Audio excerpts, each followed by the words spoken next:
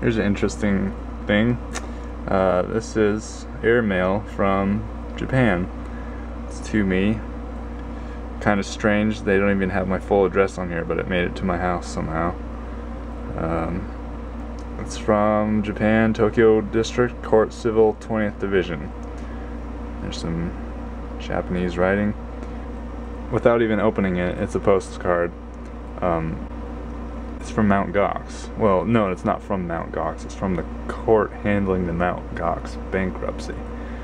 Um, that's what I'm assuming. They've they've already sent me an email, um, and there was a uh, thing in there I could reply to the email and complain if I had one, a complaint. So I'm gonna go ahead and open this up and see what's inside. Oh, and I had no complaints. I, I didn't have any money in Mount Gox, so there's no problems there. Okay. Is this how it opens? Yeah, I guess so. Whoa. Sweet. Are all postcards this cool in Japan? Alright, it says Notice of Commencement of Bankruptcy Proceedings.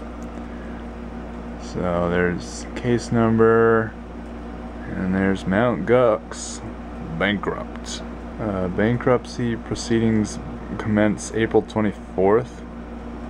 So this is in the past. Oh, I see, I see, I see. This is like an update of what's happened.